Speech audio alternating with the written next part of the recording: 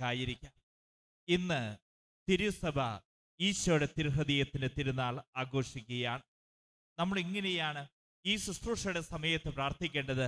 ഹൃദയശാന്തതയും എളിമയുമുള്ള ഈശോയെ എന്റെ ഹൃദയം അങ്ങേ ഹൃദയത്തിന് അനുയോജ്യമാക്കണമേ. പ്രാർത്ഥിച്ചേ. ഹൃദയശാന്തതയും എളിമയുമുള്ള ഈശോയെ എന്റെ ഹൃദയം അങ്ങേ ഹൃദയത്തിന് അനുയോജ്യമാക്കണമേ. പ്രിയപ്പെട്ട മക്കളെ യേശയ്യ പ്രവാചകന്റെ പുസ്തകം പത്താം അധ്യായം പതിനേഴാം തിരുവസനം പറയുന്നു ഇസ്രായേലിന്റെ പ്രകാശം അഗ്നിയായും അവിടുത്തെ പരിശുദ്ധൻ ജ്വാലിയായും മാറും. അത് ജ്വലിച്ച് ഒറ്റ ദിവസം കൊണ്ട് നിന്റെ മുള്ളും മുൾപ്പടപ്പും കത്തിച്ചാമ്പലാകും ഇസ്രായേലിന്റെ പ്രകാശം അഗ്നിയായും അവിടുത്തെ പരിശുദ്ധൻ ജ്വാലിയായും മാറും. അത് ജ്വലിച്ച് ഒറ്റ ദിവസം കൊണ്ട് നിന്റെ മുള്ളും ഉൾപ്പെടപ്പം കത്തിച്ചാമ്പലാവും ഇന്ന് ഈശോയുടെ ഹൃദയത്തിലേക്ക് നമുക്ക് നോക്കിയിരിക്കാം. നമ്മുടെ ഹൃദയത്തിലെ മുള്ളും മുൾപ്പടപ്പുമുണ്ടല്ലോ. കത്തിച്ചാമ്പലാകുവാൻ വേണ്ടി ഈശോ തന്നിരിക്കുന്ന ദിനമാ ഈശോയുടെ തിരുഹൃദയത്തിന്റെ ഈ ദിനം. ആയിരത്തി അറുന്നൂറ്റി എഴുപത്തി മൂന്ന് മുതൽ ആയിരത്തി അറുന്നൂറ്റി എഴുപത്തിയഞ്ച് വരെ ഈശോ കന്യാസ്ത്രീയായ വിശുദ്ധ മേരി അലക്കോക്കിന് പ്രത്യക്ഷപ്പെട്ടു. ഈശോയുടെ തിരഹൃദയം അവൾക്ക് കാണിച്ചു കൊടുത്തു. ഈശോയുടെ തിരുഹൃദയത്തെ കുറിച്ചുള്ള ഈശോയുടെ ചിന്തകൾ അവളുമായി പങ്കുവച്ചു. അവൾക്കുണ്ടായ ദർശനങ്ങൾ ഈശോയുടെ വെളിപ്പെടുത്തലുകളാണ് ഈശോയുടെ തിരുഹൃദയ ഭക്തിയായി ഈ കാലഘട്ടത്തിൽ ഉയർത്തപ്പെട്ടിരിക്കുന്നത്. ഇതിനുശേഷം ലിയോ പതിമൂന്നാമൻ മാർപ്പാപ്പയാണ് സാർവത്രിക സഭയിൽ ഈശോയുടെ തിരുഹൃദയത്തിന്റെ തിരുനാൾ ആഘോഷമായി കൊണ്ടാടാൻ വേണ്ടി അവിടുന്ന് പ്രഖ്യാപനങ്ങൾ നടത്തിയതും ഈശോയുടെ തിരുഹൃദയത്തിന്റെ തിരുനാൾ ഇന്ന് നാം ആയിരിക്കുന്നത് പോലെ ഈ രൂപത്തിലേക്ക് മാറ്റിയത്. കഴിഞ്ഞ വെള്ളിയാഴ്ച ഈശോയുടെ തിരുശരീരത്തിന്റെ തിരുരക്തത്തിന്റെ തിരുനാളായിരുന്നു. അത് കഴിഞ്ഞു വരുന്ന വെള്ളിയാഴ്ചയാണ് ഈശോയുടെ തിരുഹൃദയ ഭക്തി ഈശോയുടെ തിരുഹൃദയത്തിന്റെ തിരുനാൾ നാം ആഘോഷിക്കുന്നത്. ഇന്ന് നാം ഈശോയുടെ തിരുഹൃദയത്തിന്റെ തിരുനാൾ ആഘോഷിക്കുമ്പോൾ നമ്മളുമായി വളരെ വ്യക്തിപരമായൊരു ബന്ധം ഈശോയുടെ തിരുഹൃദയത്തിനുണ്ട് കാരണം നമ്മുടെ കുടുംബങ്ങളൊക്കെ പ്രതിഷ്ഠിച്ചിരിക്കുന്ന ഈശോയുടെ തിരുഹൃദയത്തിലേക്കാണ്. അതുപോലെ തന്നെ നമ്മുടെ കുടുംബങ്ങൾ ഓരോ വർഷവും വൈദികർ വന്ന് വെഞ്ചിരിക്കാറുണ്ട്. അതിനുശേഷം കുടുംബ പ്രതിഷ്ഠ നടത്താറുണ്ട്. ഇതെല്ലാം ഈശോയുടെ തിരുഹൃദയത്തിലേക്കല്ലേ നമ്മുടെ കുടുംബങ്ങളെയും അവിടുന്ന് ചേർത്ത് വെച്ചിരിക്കുന്നത് അതുകൊണ്ട് തന്നെ ഇന്ന് നമ്മുടെ ഭവനങ്ങളിലായിരുന്നു കൊണ്ട് ഈശോയുടെ തിരുഹൃദയമേ നീ എന്റെ സ്നേഹമായിരിക്കണമേ എന്ന് പ്രാർത്ഥിച്ചു. നമ്മുടെ കുടുംബങ്ങളെ ഈ പ്രത്യേകമായ സാഹചര്യത്തിൽ ഈശോയുടെ തിരുഹൃദയത്തിന് നമുക്ക് പ്രതിഷ്ഠിക്കാം. ഈശോയുടെ തിരുഹൃദയത്തിന്റെ രൂപത്തിലേക്ക് ഒന്ന് നോക്കി. ആ രൂപത്തിലേക്ക് നോക്കിക്കഴിയുമ്പോൾ ഏതാനും പ്രത്യേകതകൾ നമുക്ക് കാണാൻ സാധിക്കും. യേശുവിന്റെ തിരുഹൃദയത്തിന്റെ ഒന്നാമത്തെ പ്രത്യേകതയാണ് ഈ ഹൃദയം പുറത്താണ് സ്ഥിതി ചെയ്യുന്നത് എന്നുള്ളതാണ്. നമുക്കറിയാം നമ്മുടെ ഹൃദയമൊക്കെ ശരീരത്തിനകത്താണ് ഹൃദയമുള്ള ആൾക്കാർക്കറിയാം ആ ഹൃദയം ശരീരത്തിനകത്താണ് ചില വ്യക്തികളെ നോക്കിക്കൊണ്ട് പറയും കല്ലാണ് കരിങ്കല്ലാണ് നെഞ്ചിലെന്നും എന്നാൽ ഈശോയുടെ തിരുഹൃദയത്തിന് പ്രത്യേകത ഇത് ശരീരത്തിന് പുറത്താണ് സ്ഥിതി ചെയ്യുന്നത്. അതെന്താ നമുക്ക് പറഞ്ഞു തരുന്നേ? മനുഷ്യരോടുള്ള ഈശോയുടെ സ്നേഹത്തിന്റെ പരമമായ അധമ്യമായ ദാഹമാണ് അവിടെ കാണാൻ സാധിക്കുന്നത്. ദൈവത്തിന് മനുഷ്യരോടുള്ള സ്നേഹം അതാണ് മക്കളെ ഈശോയുടെ തിരുഹൃദയം എന്ന് പറയുന്നത്. ആ തിരുഹൃദയത്തിലേക്ക് സകല പാപികളെയും ഈശോ ചേർത്ത് വെക്കുക ഏത് മക്കളാണോ ഈശോയുടെ തിരുഹൃദയത്തിന് മുമ്പിലേക്ക് വരുന്നത് അവരെ എല്ലാം ഈശോ ചേർത്ത് പിടിക്കുക ആ ഹൃദയത്തിൽ. ദൈവത്തിന് മനുഷ്യരോടുള്ള സ്നേഹത്തിന്റെ അധമ്യമായ ദാഹമാണ് ഈശോയുടെ തിരുഹൃദയം. ഈശോ വിശ്വ മേരി അലക്കോക്കിന് പ്രത്യക്ഷപ്പെട്ടുകൊണ്ട് ഈശോയുടെ തിരുഹൃദയം കാണിച്ചു കൊടുക്കുക ഇതിനുശേഷം അവളോട് പറയുന്നുണ്ട് മോളെ ആത്മാക്കൾക്ക് വേണ്ടി ദാഹിക്കുന്ന ഹൃദയമാണ് എന്റെത് നിന്റെ ഹൃദയത്തിൽ ആത്മാക്കൾക്ക് വേണ്ടിയുള്ള ദാഹം ഉണ്ടാവണം. ഈശോയുടെ ഹൃദയത്തിൽ ആത്മാക്കൾക്ക് വേണ്ടിയുള്ള ദാഹം ഉണ്ടായിരുന്നു. വീണ്ടും ഈശോ വിശുദ്ധ മേരി അലക്കോക്കിനോട് പറയുകയാണ് മനുഷ്യർ ചെയ്യുന്ന കൊച്ചു കൊച്ചു പാപങ്ങൾ പോലും എന്റെ ഹൃദയത്തെ ഒരുപാട് മുറിവേൽപ്പിക്കുന്നു. ഞാൻ പാപം ചെയ്യുമ്പോ എന്താ സംഭവിക്കുന്നത് ഈശോയുടെ തിരുഹൃദയത്തിൽ ഇതാ മുറിവുകൾ ഏൽപ്പിച്ചുകൊണ്ടിരിക്കുക. ഓരോ ദിവസവും മനുഷ്യൻ ചെയ്യുന്ന പാപം ഈശോയുടെ ആ തിരുഹൃദയത്തെ കുത്തി കുത്തി കുത്തി കുത്തി കുത്തി മുറിവേൽപ്പിച്ചുകൊണ്ടിരിക്കുക. അതുകൊണ്ടാണ് പ്രിയപ്പെട്ടവരെ ഈശോയുടെ സ്നേഹത്തിലേക്ക് നമ്മെ മാടി വിളിക്കുന്നത് കാരണം എന്താ? ഈശോയുടെ സ്നേഹം അനുഭവിച്ചു കഴിഞ്ഞ മറ്റൊരു സ്നേഹത്തിന്റെ പിന്നാലെ മനുഷ്യൻ പോകില്ല എന്നുള്ളതാ. സകല മനുഷ്യരെയും ചേർത്ത് വെക്കുന്ന ഈശോയുടെ തിരുഹൃദയം. ഏതാനും നാളുകൾക്ക് മുമ്പ് ഒരു രോഗിയായി കിടക്കുന്ന അമ്മയെ കാണാൻ വേണ്ടി പോയി. ഈ അമ്മയുടെ കിടപ്പ് കണ്ടു കഴിഞ്ഞപ്പോൾ തന്നെ വല്ലാത്ത അവസ്ഥയെ. കൂഞ്ഞി കൂടിക്കിടക്കുന്ന അവസ്ഥ. ഞാൻ ഈ അമ്മയ്ക്ക് രോഗിലേപനം കൊടുത്തു. രോഗിലേപനം കൊടുക്കുമ്പോൾ നിങ്ങൾക്ക് അറിയാലോ ദാ ശിരസിൽ തൈലം പൂശും. അതുപോലെ തന്നെ ചുണ്ടിൽ തൈലം പൂശും. ചെവിയിൽ കൈ തൈലം പൂശും. കൈകളിൽ തൈലം പൂശും. കാലിൽ തൈലം പൂശും. ഈ അമ്മയുടെ ചുറ്റും മക്കൾ കിടക്കുന്നുണ്ട്.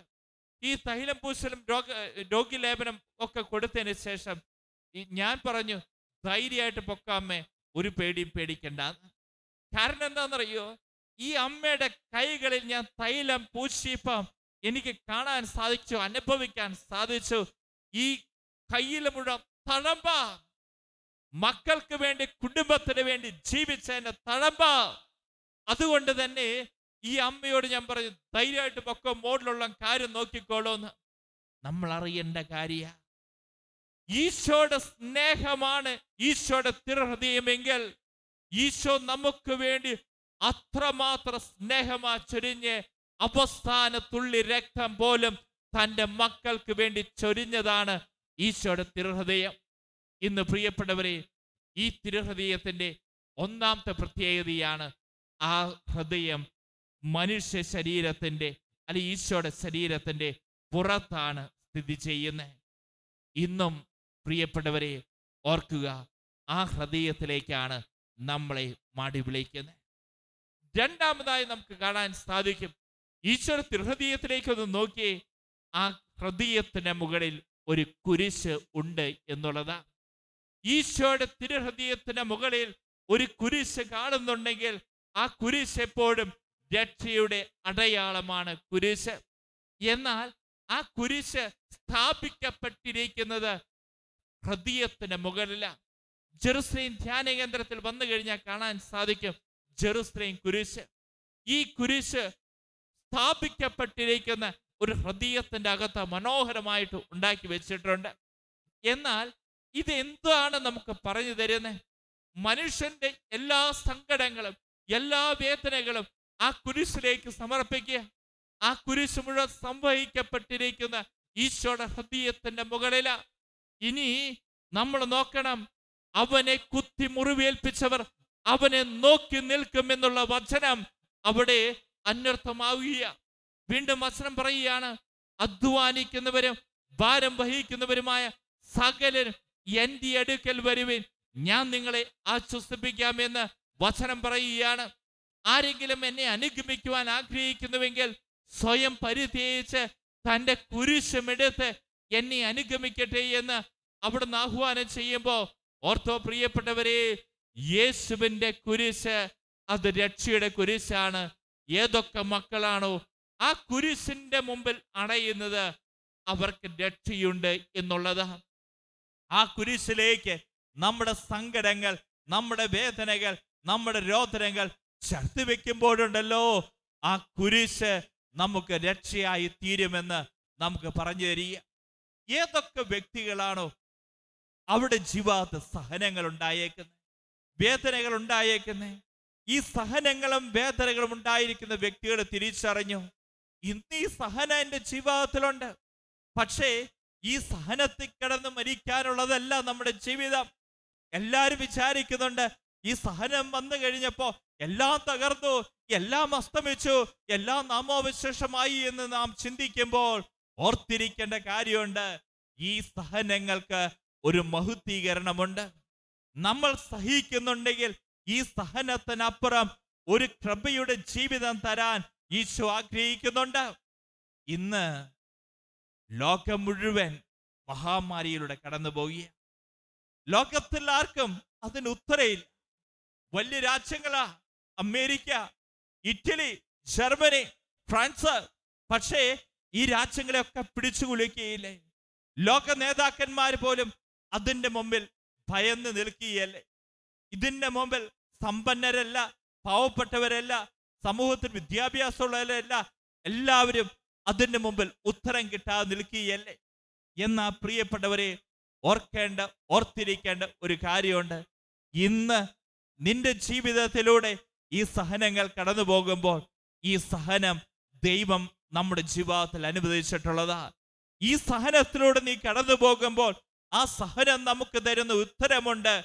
അത് ആ കുരിശ് തരുന്ന ഉത്തരം തന്നെയാ യേശുവിന്റെ കുരിശല്ലേ നമ്മെ മുഴുവൻ മഹുദ്ധീകരിച്ചുവെങ്കിൽ ഇന്ന് നിന്റെ കുടുംബം നീ അനുഭവിക്കുന്ന സഹനം ആ സഹനത്തിന് ഈശോ ഒരു മഹുദ്ധീകരണം തരാൻ ആഗ്രഹിക്കുന്നുണ്ട്. ഒന്ന് ഓർത്തു നോക്കി. നാളുകൾക്ക് മുമ്പ് വർഷങ്ങൾക്ക് മുമ്പ് നിന്റെ ജീവിതത്തിൽ നീ അനുഭവിച്ച ആ സഹനം. ഇപ്പൊ ആ സഹനം ഇല്ല. വർഷങ്ങൾക്ക് മുമ്പ് നീ അനുഭവിച്ച ആ സഹനം നിന്റെ മക്കളെ ഓർത്തുള്ള വേദനയായിരിക്കാം.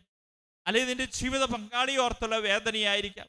പക്ഷേ നാളുകൾ കഴിഞ്ഞ് ഇന്ന് തിരിഞ്ഞു നോക്കുമ്പോൾ ആ സഹനം നിന്റെ ജീവിതത്തിൽ ഒരു മഹുദ്ധീകൃതമായി തീർന്നുവെങ്കിൽ ഇന്നും ഈശോ പറയുക നിന്റെ സഹനങ്ങളെ മുഴുവൻ ആ തിരുഹൃദയത്തിലേക്ക് ചേർത്ത് വെച്ചു.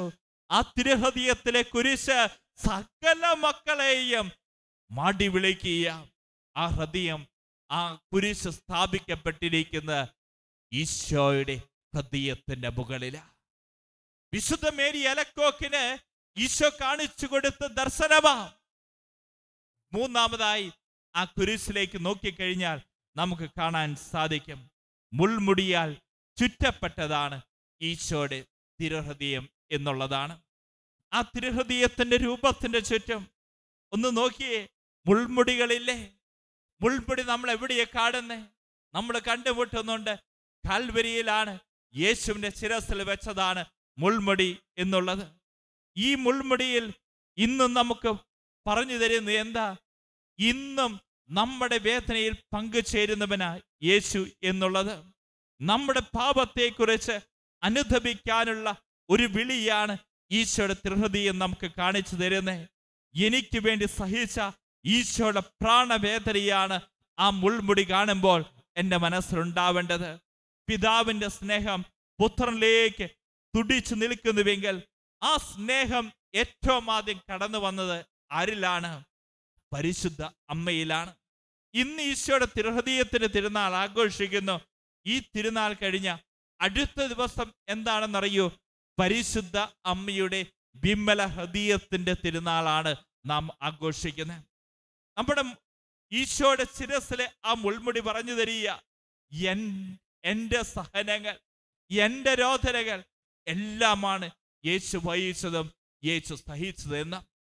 നാലാമതായി യേശുവിന്റെ തിരഹൃദയത്തിലേക്ക് നൊന്ന് നോക്കി. ആ തിരഹൃദയം നാലാമതായി നമുക്ക് പറഞ്ഞു തരികയാണ്. അഗ്നിയാൽ ആളിക്കത്തുന്നതാണ് ഈശോയുടെ തിരഹൃദയം. ആ തിരഹൃദയത്തിന്റെ രൂപത്തിൽ നാം കാണുന്നില്ലേ? ആളിക്കത്തുന്ന തീയ. ആളിക്കത്തുന്ന തീയ. ആളിക്കത്തുന്ന തീയ ആ ദൃഢതയത്തെ കാണുന്നുണ്ടെങ്കിൽ ഇന്ന് നമുക്ക് പറഞ്ഞു തരികയാണ് ഈശോയുടെ സ്നേഹം അസ്തമിക്കാത്ത സ്നേഹമാണ് എന്നുള്ളതാണ്. ഓരോ മക്കളും തിരിച്ചറിയേണ്ടതാണ്. ഓരോ പ്രഭാതത്തിലും പുതിയ സ്നേഹമാണ് ഈശോയുടെ സ്നേഹം. നമ്മൾ നമ്മുടെ വ്യക്തിപരമായ ജീവിതത്തിൽ ഈ അസ്തമിക്കാത്ത ഈശോയുടെ സ്നേഹം അനുഭവിക്കുന്നുണ്ട്. ഓരോ പ്രഭാതത്തിലും ഒരു പുതിയ സ്നേഹം നമ്മൾ അനുഭവിക്കുന്നുണ്ട്. ഓർത്തു നോക്കുക നിന്റെ ജീവിത പങ്കാളിയെ നിനക്കിന്ന് സ്നേഹിക്കാൻ കഴിയുന്ന എന്തുകൊണ്ടാ?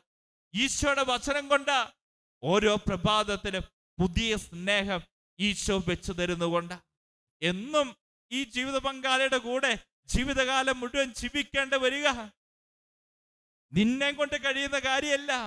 പക്ഷേ ഈശോ നിന്റെ ഹൃദയത്തിലേക്ക് ഒരു പുതിയ സ്നേഹം ഓരോ ദിവസവും വെച്ചു തരുന്നുകൊണ്ടാണ് നിനക്ക് നിന്റെ ജീവിത പങ്കാളിയെ നിന്റെ മക്കളെ നിന്റെ മാതാപിതാക്കളെ നിനക്ക് സ്നേഹിക്കാൻ കഴിയുന്ന ഈശോയുടെ തിരഹൃദയം നമ്മൾ നമുക്ക് കാണിച്ചു തരികയാണ്. അസ്തമിക്കാത്ത ഈശോയുടെ സ്നേഹം. സ്വർഗം മനുഷ്യരോട് കാണിക്കുന്ന സ്നേഹത്തിന്റെ പ്രതീകമാണ് ഈശോയുടെ തിരുഹൃദയം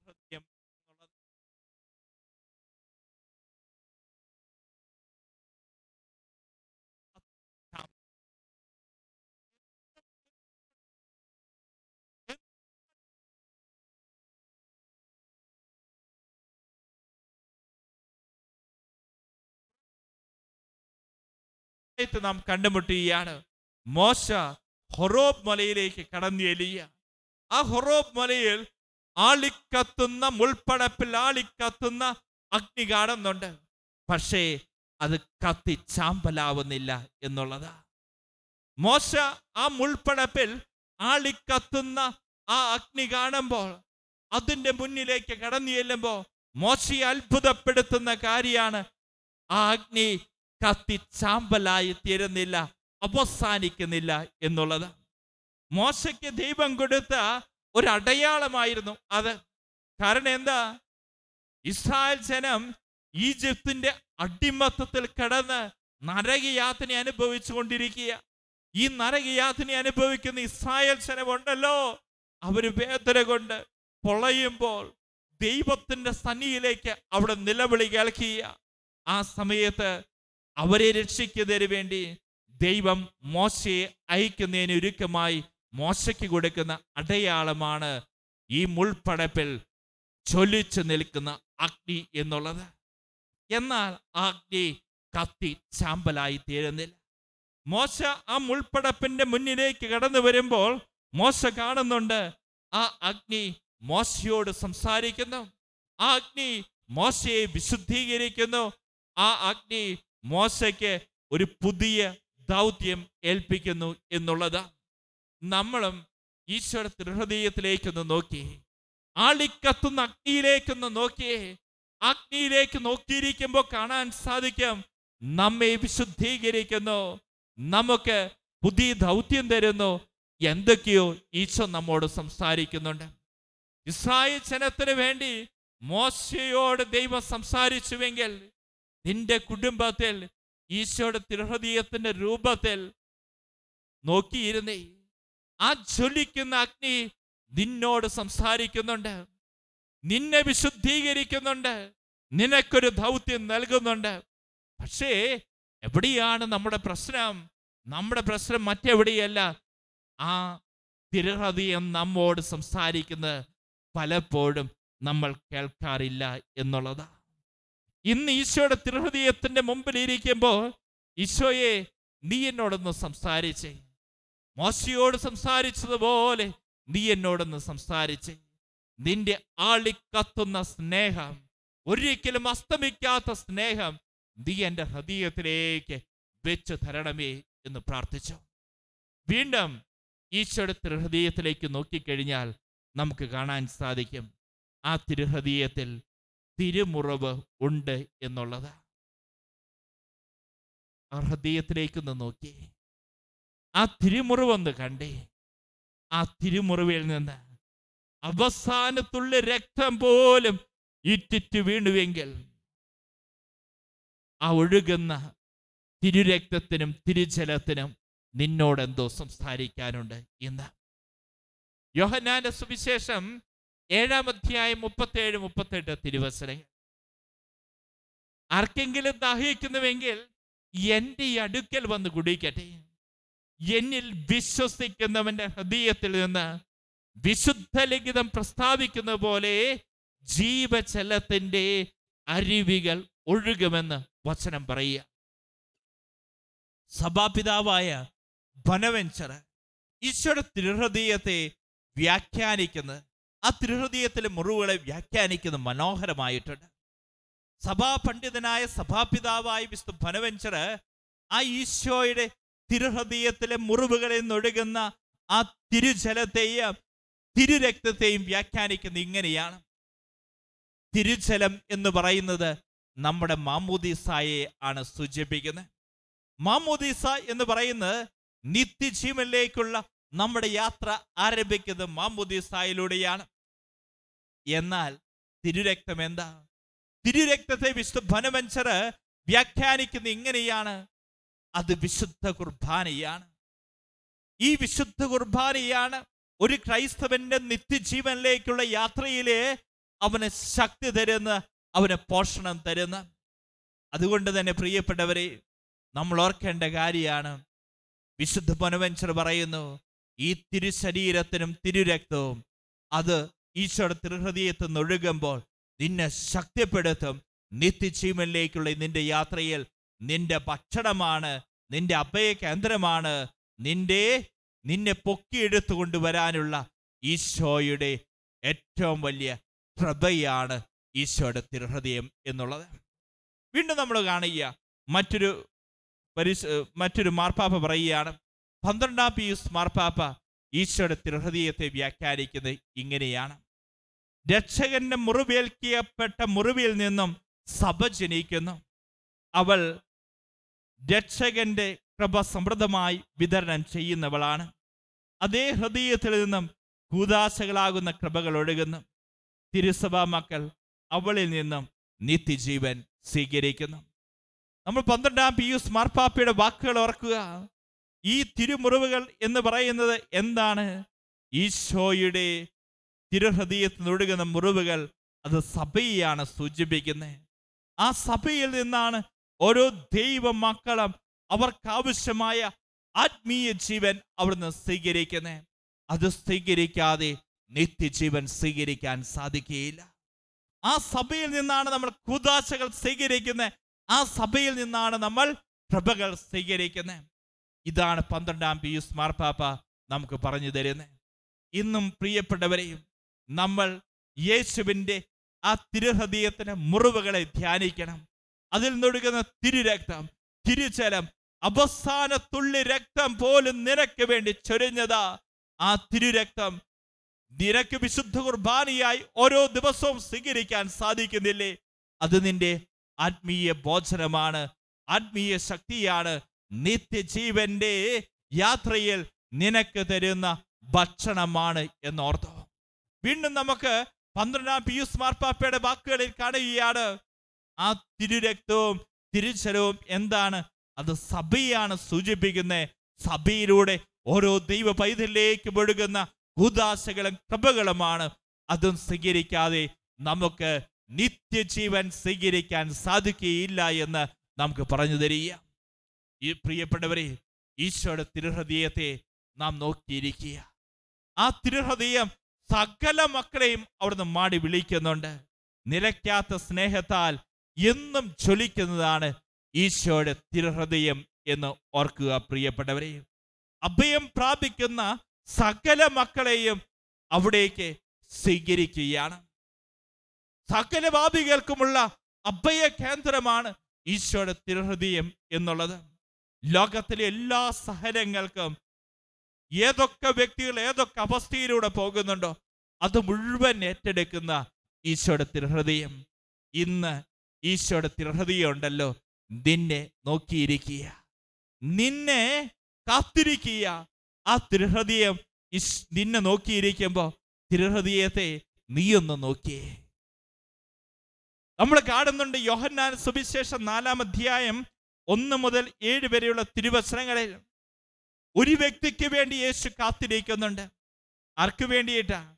സംപ്രിയക്കാരി സ്ത്രീക്ക് വേണ്ടിയിട്ടാ. സംപ്രിയക്കാരി സ്ത്രീയെ ഒരു വ്യക്തിയ. അവൾക്ക് വേണ്ടി യേശു യാത്ര ചെയ്തത് എത്ര മണിക്കൂറാണെന്നറിയോ?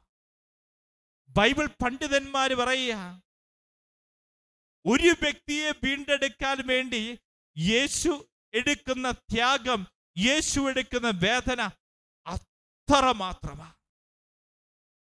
അത് വാക്കുകളില്ല. ജെറുസലേം ധ്യാന കേന്ദ്രത്തിൽ ഒരച്ഛനെ ധ്യാനിപ്പിക്കാൻ വേണ്ടി വിളിക്കുക. ആ അച്ഛനോട് പറയുക ഇന്ന സ്ഥലത്ത് ഒരു വ്യക്തി ധ്യാനിക്കാനുണ്ടാവും. അച്ഛൻ ഒന്ന് വരണം. അച്ഛന്റെ മനോഭാവം എന്താ? ഒരു വ്യക്തി ധ്യാനിപ്പിക്കാൻ വേണ്ടി ഞാൻ രണ്ട് മണിക്കൂർ യാത്ര ചെയ്ത് അവിടെ എത്തണം. ഒരു വ്യക്തിക്ക് വേണ്ടി. എന്നാൽ യേശുവിന്റെ ജീവിതത്തെ കാണാൻ സാധിക്കും. യേശു തന്റെ ശിഷ്യന്മാരും കൂടി ഈ സമറിയ ദേശത്ത് സിക്കാർ പട്ടണത്തിലേക്ക് കടന്നു വരിക. നാൽപ്പത്തിയഞ്ച് കിലോമീറ്റർ യാത്ര ചെയ്തിട്ടാണ് യേശു അവിടേക്ക് കടന്നു വരുന്നത്.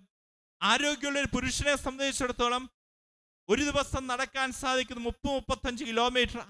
എന്നാൽ യേശു ശിഷ്യന്മാരും അന്ന് അവിടേക്ക് കടന്നു വന്ന് നാൽപ്പത്തിയഞ്ച് കിലോമീറ്റർ നടന്നിട്ട് അത് പറഞ്ഞു തരിക പ്രിയപ്പെട്ടവരെ ഒരു വ്യക്തിക്ക് യേശുവിന്റെ ചങ്കനുള്ളിൽ അത്രയും വിലയുണ്ട് എന്നുള്ളതാണ്.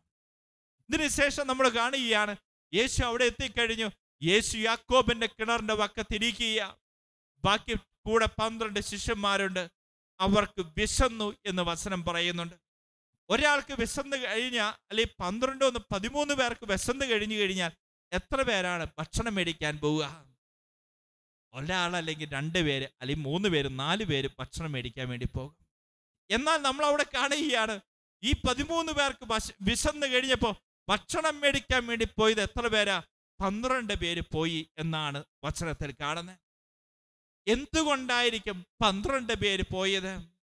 ഒരു വ്യക്തിയുടെ സ്വകാര്യത അവിടെ തുറക്കപ്പെടാൻ പോവുക സമ്പ്രിയക്കാരി സ്ത്രീയുടെ.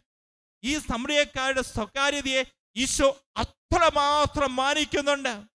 അതുകൊണ്ടാണ് ബാക്കി പന്ത്രണ്ട് പേരും ഭക്ഷണം മേടിക്കാൻ വേണ്ടി യേശു വിട്ടത്. നമ്മൾ ഓർക്കേണ്ട കാര്യമുണ്ട്. എന്റെയും നിങ്ങളുടെ സ്വകാര്യതയുണ്ടല്ലോ.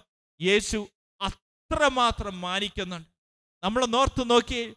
നമ്മുടെ ജീവിതത്തിൽ പല തെറ്റുകളും പല അബദ്ധങ്ങളും വന്നിട്ടുണ്ട്. യേശുവിന്റെ സംരക്ഷണത്തിന്റെ പേര് നമുക്കുള്ളത് കൊണ്ട് മാത്രമല്ലേ നമ്മളൊക്കെ ഇന്ന് നാല് പേരുടെ മുമ്പിൽ നിൽക്കുന്ന. യേശുവിന്റെ സംരക്ഷണത്തിന്റെ വേലി എന്റെയും നിങ്ങളുടെയും എല്ലാം ആ പ്രൈവസി ഉണ്ടല്ലോ. യേശു അത്രമാത്രം മാനിക്കുന്നു എന്നുള്ളതാണ് അവൾക്ക് വേണ്ടി യേശു യാക്കോബന്റെ കിണറിന്റെ വക്കത്തിരിക്കുക ഓർക്കുക പ്രിയപ്പെട്ടവരെ ആരുടെ മുമ്പിൽ പ്രത്യക്ഷപ്പെടാൻ ആഗ്രഹിക്കാത്തവള. സമറിയ ദേശത്ത് അവൾ ആരും ഉള്ളപ്പോൾ വെള്ളം കോരാൻ വേണ്ടി ആഗ്രഹിക്കുന്നില്ല. അവൾ വരാൻ ആഗ്രഹിച്ച് ആരുമില്ലാത്ത സമയത്ത് നട്ടുച്ച നേരത്താ. കാരണം മറ്റു മനുഷ്യരുടെ മുമ്പിൽ പ്രത്യക്ഷപ്പെടാൻ പോലും എനിക്ക് യോഗ്യതയില്ല. അവൾക്കറിയാം. എന്നാ പ്രിയപ്പെട്ടവരെ അവിടെ കാണുകയാണ് അവൾക്ക് വേണ്ടി യേശു യാക്കോബിന്റെ കിണറിന്റെ വക്കത്ത് ഇരിക്കുകയാണ്. ഇതിനുശേഷം അവളുമായി യേശു സംസാരിക്കുന്നു. യേശു സംസാരിച്ച് കഴിഞ്ഞു കഴിഞ്ഞപ്പോ അവളുടെ അവസ്ഥ യേശു മനസ്സിലാക്കിയ. അവൾ യേശുവിന്റെ മുമ്പിൽ തന്റെ അവസ്ഥ തുറന്നു വെക്കുക യേശുവിനെ അവൾക്ക് ആദ്യമൊന്നും മനസ്സിലായില്ല. എന്നാൽ അവൾ തിരിച്ചറിയുകയാണ് നിനക്ക് അഞ്ച് ഭർത്താക്കന്മാരുണ്ടായിരുന്നു എന്ന് യേശു പറഞ്ഞപ്പോൾ ഓർക്കുക പ്രിയപ്പെട്ടവരെ അവളുടെ അവസ്ഥയാ യേശു തുറന്നു വെക്കുന്നത് അവളുടെ സ്വകാര്യതയാ യേശു തുറന്നു വെക്കുന്നത് അവിടെ നാം കാണേണ്ട ഒരു പ്രത്യേകതയുണ്ട്. അവിടെ നാം കാണുകയാണ് അഞ്ച് ഭർത്താക്കന്മാരുണ്ടായിരുന്നിട്ടും സ്നേഹം മതിയാവാത്തവളായിരുന്നു സമറിയക്കാരി സ്ത്രീ. ഒരു വ്യക്തിയെ കണ്ടു കഴിഞ്ഞപ്പോൾ അവൾ പിന്നെ വേറെ സ്നേഹത്തിന്റെ പിന്നാലെ ഒന്നും പോയി. ഒരു വ്യക്തിയെ യേശുവിനെ കണ്ടോ. പിന്നീട് ഒരു തിന്മയെ അവൾ ആകർഷിച്ചില്ല. യേശു അവളെ നേടിയെടുക്കുക. അവളെ നേടിയെടുത്തു കഴിഞ്ഞാൽ യേശുവൻ അറിയാം ഈ ഒരു വ്യക്തിയിലൂടെ ഒരു ദേശം മുഴുവൻ നേടിയെടുക്കലാണ് എന്ന്. സമ്രിയക്കാരി സ്ത്രീയിലൂടെ സമ്രിയ ദേശം മുഴുവൻ യേശു നേടിയെടുക്കുക. എന്താ സംഭവിച്ചേ? അവൾ അവളെ ഹൃദയം അവന്റെ മുമ്പിൽ തുറന്നു വെച്ചു. ഇന്ന് ഈ തിരുഹൃദയത്തിന്റെ തിരുനാൾ ആഘോഷിക്കുമ്പോ പ്രിയപ്പെട്ട മക്കളെ നിന്റെ വേദനകൾ നിന്റെ സ്വകാര്യ സങ്കടങ്ങൾ ആരോടും പങ്കുവെക്കാനാവാത്ത നെടുവീർപ്പുകൾ നിന്റെ പാപത്തിന്റെ ബന്ധനങ്ങൾ നീ നിന്റെ കുടുംബത്തിൽ ഈശോയുടെ തിരുഹൃദയത്തിന്റെ രൂപത്തിലേക്ക് ഒന്ന് നോക്കി ആ തിരുഹൃദയത്തിന്റെ രൂപം ചലിക്കുന്നുണ്ട്. നിന്നോട് എന്തൊക്കെയോ സംസാരിക്കുന്നുണ്ട്. നിന്റെ ഹൃദയം അവന്റെ മുമ്പിൽ ഒന്ന് തുറന്നു വെക്ക. സമ്രിയക്കാരി സ്ത്രീക്ക് സംഭവിച്ചതുപോലെ നിന്റെ ജീവിതത്തിൽ ഇന്ന് സംഭവിക്കും എന്നുള്ളതാ. പ്രിയപ്പെട്ട മക്കളെ നമ്മൾ കണ്ടുമുട്ടിയ അവളുടെ ഹൃദയത്തെ ഈശോയുടെ ഹൃദയത്തോട് ചേർത്ത് വെച്ചു അവളുടെ ജീവിതം തുറന്നു വെച്ചു ആ ഹൃദയത്തിലേക്ക് നോക്കിയിരിക്കുക. പിന്നീട് ഒന്നായി തീരും എന്നുള്ളതാ. ഞാൻ കേട്ടിട്ടുണ്ട്. ഒരുപാട് വ്യക്തികളുടെ ജീവിതങ്ങളെ.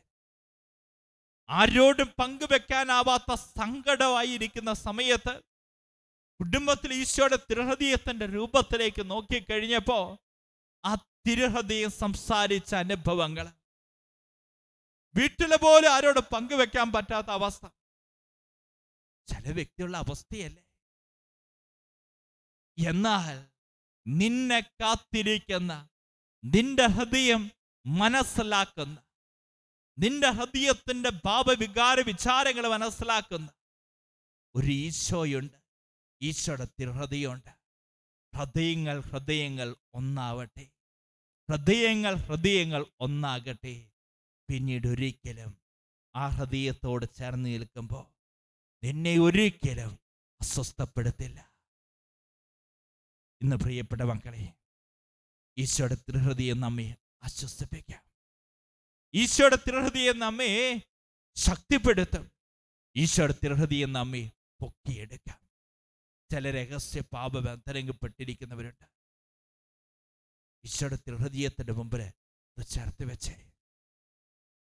നീ എല്ലാം തകർന്നു തളർന്നോ? നീ ഒരു രക്ഷയില്ല എന്ന് നീ ചിന്തിക്കുന്നുണ്ട്. ഈശ്വരത്തിൽ ഹൃദയത്തിന്റെ മുമ്പിൽ നിന്റെ ഹൃദയത്തെ ഒന്ന് ചേർത്ത് വെച്ചേ. രണ്ട് ഹൃദയങ്ങൾ ഒന്നാവട്ടെ. ഇന്ന് ഈ തിരുഹൃദയ തിരുനാൾ ആഘോഷിക്കുമ്പോൾ ഈ ജൂൺ മാസത്തെ പ്രത്യേകമായി ഈശോയുടെ തിരുഹൃദയത്തിന്റെ വണക്കമാസം ചൊല്ലി പ്രാർത്ഥിക്കുന്നവരാ. ഓരോ ദിവസവും നമ്മുടെ വിചിന്തനത്തിന് വേണ്ടി തിരുസഭ തന്നിരിക്കുന്നുണ്ട്. വടക്കമാസത്തിലൂടെ ഈശോയുടെ തിരുഹൃദയത്തിന്റെ ഓരോ സൂക്തങ്ങളും നമുക്ക് ധ്യാനിക്കുവാനായി. ഇതുപോലെ തന്നെ എന്നെ ആകർഷിച്ചിരിക്കുന്ന ഒരു കാര്യ നമ്മുടെ കുടുംബങ്ങളെ മുഴുവൻ ഈശോയുടെ തിരുഹൃദയത്തിന് പ്രതിഷ്ഠിക്കുന്നു. സാധാരണയായി ജൂൺ മാസത്തിലാണ് നമ്മുടെ വികാരിയച്ഛന്മാര് നമ്മുടെ ഭവനങ്ങളെ കടന്നു വന്ന് ഭവന വെഞ്ചരിപ്പ് നടത്തുകയും അതോടൊപ്പം തന്നെ ഈശോയുടെ തിരുഹൃദയത്തിന് നമ്മുടെ കുടുംബത്തെ പ്രതിഷ്ഠിക്കുകയും ചെയ്യുന്നത്. എന്നാൽ ഈ പ്രത്യേകമായ സാഹചര്യത്തിൽ ഒരുപക്ഷെ നമ്മുടെ കുടുംബങ്ങളൊന്നും വീട് വെഞ്ചരിപ്പ് നടത്താൻ പറ്റാത്ത അവസ്ഥയാണ്. എന്നാൽ ഈ സമയം ഈ ശുശ്രൂഷയെ പങ്കെടുക്കുന്ന മക്കളെ അറിഞ്ഞോ? ഇന്ന് ഏതാനും സമയം കഴിയുമ്പോൾ ആരാധനയാ ആരാധന സമയത്ത് ദൂരത്തിന്റെ മേലും സമയത്തിന്റെ മേലും അധികാരമുള്ള യേശുവിന്റെ നാമത്തിന്റെ ശക്തിയാൽ നമ്മുടെ കുടുംബങ്ങളെ ഈശോയുടെ തിരുഹൃദയത്തിന് പ്രതിഷ്ഠിച്ച് പ്രാർത്ഥിക്കും എന്നുള്ളത്. അതുകൊണ്ട് തന്നെ എല്ലാ മക്കളും ആ ആരാധനയെ പങ്കെടുക്കണമെന്ന് സ്നേഹത്തോടുകൂടെ അച്ഛൻ ഓർപ്പിപ്പിക്കുക. ഈശോയുടെ തിരുഹൃദയത്തിന്റെ ഈ പ്രാർത്ഥന ചെല്ലുമ്പോൾ എന്നെ ഒരുപാട് ഒരുപാട് ആകർഷിച്ചിരിക്കുന്ന ഒരു കാര്യമുണ്ട്. എല്ലാ ദിവസവും വിശുദ്ധ കുർബാന കഴിയുമ്പോൾ നമ്മുടെ ഇടവ ദേവാലയം നാം പ്രാർത്ഥിക്കാറുണ്ട്. നിത്യപുരോഹിതനായ ഈശോയെ അങ്ങേ ദാസരായ വൈദികരെ യാതൊരു ആപത്തും കൂടാതെ അങ്ങേ തിരുഹൃദയത്തിൽ അഭയം നൽകണമേ എന്ന്. ലോകതന്ത്രങ്ങളിൽ നിന്ന് അവരെ രക്ഷിക്കണമേ എന്ന്. നമ്മൾ തിരിച്ചറിഞ്ഞു ഈശോയുടെ തിരുഹൃദയത്തിന്റെ സ്നേഹമാണ് പൗരോഹിത്യം എന്നുള്ളത് ഒരു പുരോഹിതൻ തന്റെ പൗരോഹിത്യ ശുശ്രൂഷ ശ്രേഷ്ഠതയോടുകൂടെ ചെയ്യാൻ സാധിക്കണോ? ഈശോയുടെ തിരുഹൃദയത്തിനോട് ചേർന്ന് നിന്നാൽ മാത്രമേ പുരോഹിതർക്ക് തന്റെ പൗരോഹിത്യ ശുശ്രൂഷ അഭിഷേകത്തോടുകൂടെ ചെയ്യാൻ സാധിക്കുകയുള്ളൂ. ഇന്ന് എല്ലാ പുരോഹിതർക്കും വേണ്ടി നിങ്ങൾ പ്രാർത്ഥിക്കണം. ഈശോയുടെ തിരുഹൃദയത്തിന്റെ സ്നേഹമാണ് പൗരോഹിത്യമെങ്കിൽ നമുക്കറിയാവുന്ന സകല വൈദികരെ നമ്മൾ ഈശോയുടെ തിരുഹൃദയത്തിലേക്ക് ചേർത്ത് വെച്ച് പ്രാർത്ഥിച്ചു? നിത്യപുരോഹിതനായ ഈശോയെ അങ്ങേ ദാസരായ വൈദികരെ യാതൊരാപത്തും കൂടാതെ അങ്ങേ തിരുഹൃദയത്തിൽ അഭയം നൽകണമേ എന്ന്. ഇതുപോലെ തന്നെ എന്നെ ഒരുപാട് ആകർഷിച്ചിരിക്കുന്ന ഈശോയുടെ തിരുഹൃദയ ലുത്തനീയ. നമ്മൾ പ്രാർത്ഥിക്കുന്നത് പ്രാർത്ഥിക്കുന്നേ ഈശോയുടെ മാധുര്യമുള്ള തിരുഹൃദയമേ അങ്ങന്റെ സ്നേഹമായിരിക്കണം എന്റെ സമാപനത്തിൽ നാം ഇങ്ങനെ ചെല്ലും ഹൃദയശാന്തതയും എളിമയുമുള്ള ഈശോയെ എന്റെ ഹൃദയം അങ്ങേ ഹൃദയത്തിന് അനുയോജ്യമാക്കണമേ എന്ന്. എന്താണ് പ്രിയപ്പെട്ടവരെ?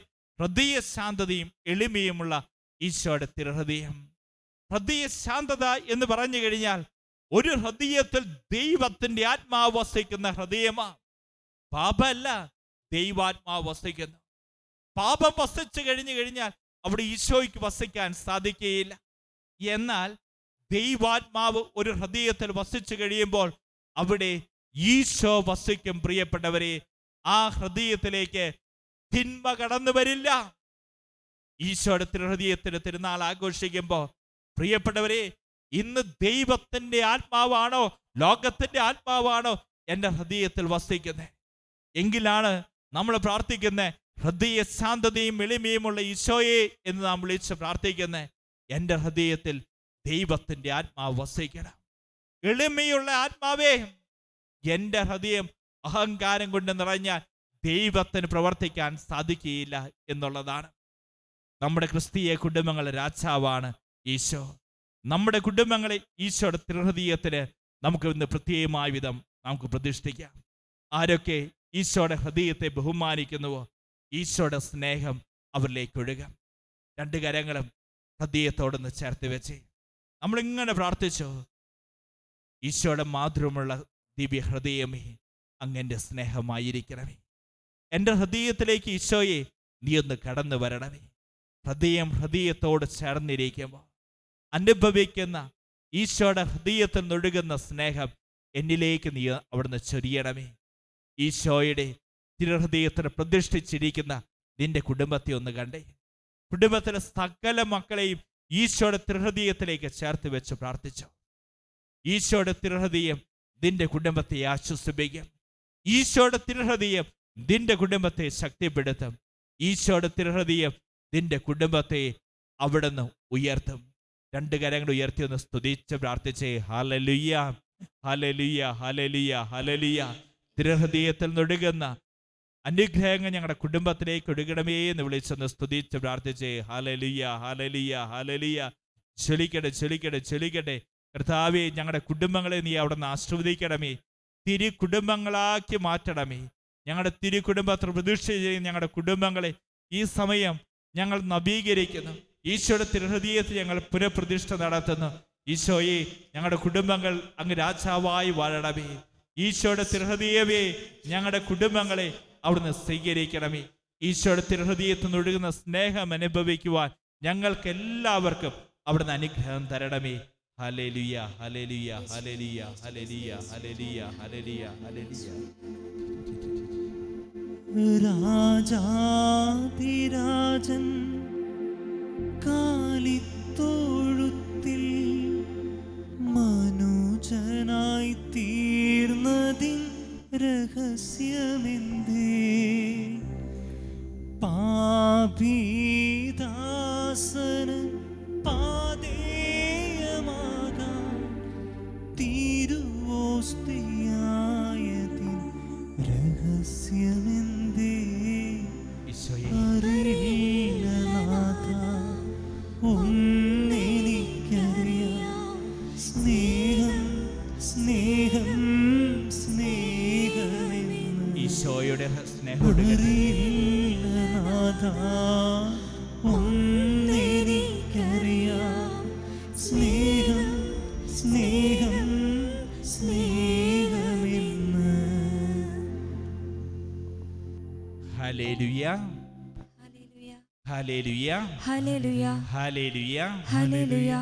പ്രിയപ്പെട്ട മക്കളെ ഇന്ന് ഈ തിരുഹൃദയത്തിന്റെ തിരുനാൾ ആഘോഷിക്കുന്ന തിരുഹൃദയ വെള്ളിയാഴ്ച ജെറുസലേം വചനകൂടാരത്തിൽ നിന്ന് ഓൺലൈനായി ശുശ്രൂഷ നടന്നുകൊണ്ടിരിക്കുകയാണ്. വിശുദ്ധ ബലി ബഹുമാനപ്പെട്ട പട്ടത്തച്ഛൻ നമുക്ക് വേണ്ടി അർപ്പിച്ചു. തുടർന്ന് ബഹുമാനപ്പെട്ട സിജോ തയ്യാലക്കലച്ഛൻ നമ്മെ അടുത്ത ശുശ്രൂഷയിലേക്ക് വിശുദ്ധ കുരിശിന്റെ ആസ്വാദത്തിലേക്ക് നയിച്ചു. നാളെ പരിശുദ്ധാമ്മയുടെ വിമലഹൃദയത്തിന്റെ തിരുനാളാണ് തിരുഹൃദയ തിരുനാളും പരിശുദ്ധാമ്മയുടെ വിമലഹൃദയത്തിന്റെ തിരുനാളും അടുത്തടുത്ത ദിനങ്ങളാണ് തിരുഹൃദയത്തെ മനസ്സിലാക്കണമെങ്കിൽ വിമല ഹൃദയത്തെ നാം മനസ്സിലാക്കണം. ഈ സമയം ബഹുമാനപ്പെട്ട സിജോ തയ്യാലക്കലച്ചൻ പരിശുദ്ധാമ്മയുടെ വിമല ഹൃദയത്തെ നമ്മുടെ മുന്നിലേക്ക് കൊണ്ടുവരിക. നമ്മുടെ ഭവനങ്ങളായിരുന്നുകൊണ്ട് തുടർന്നുള്ള വചന സമയ വചന സന്ദേശത്തിനായി നമ്മുടെ ഹൃദയങ്ങളെ ഒരുക്കാം. പ്രാർത്ഥനാപൂർവം നമ്മുടെ സിജോച്ചനെ നമുക്ക് സ്വാഗതം ചെയ്യാം. നമ്മുടെ ഭവനങ്ങളായിരുന്നു കൊണ്ട് ഒരു നിമിഷം സിജോച്ചന് വേണ്ടി എല്ലാവരും ഒന്ന് പ്രാർത്ഥിച്ച്.